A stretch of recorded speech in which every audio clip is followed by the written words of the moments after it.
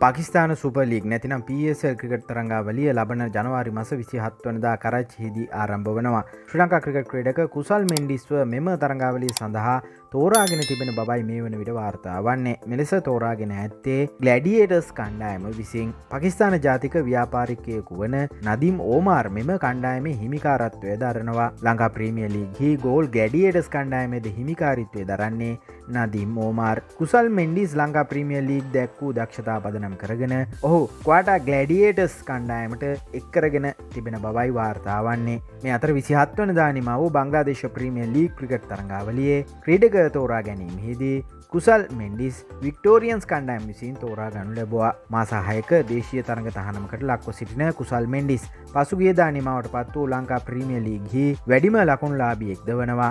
කෙසේ වෙතත් ගෝල් ගැඩියටස් කණ්ඩෑම් වෙනුවෙන් දැක්වූ දක්ෂතා මත කණ්ඩායමේ හිමිකරුවා ඔහු සතුව ඇති පකිස්ාන සුපලී කණ්ඩායමටද කුසල් මෙන්ඩිස්ව එක්කරගෙන තිබෙනවා.